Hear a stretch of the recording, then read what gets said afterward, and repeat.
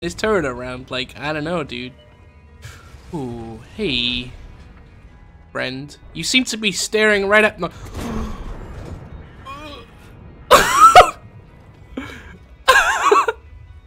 okay. Alright, dude. Alright.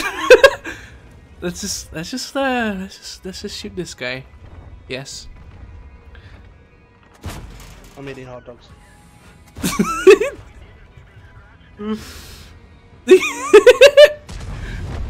Dude, this guy, your biggest fear?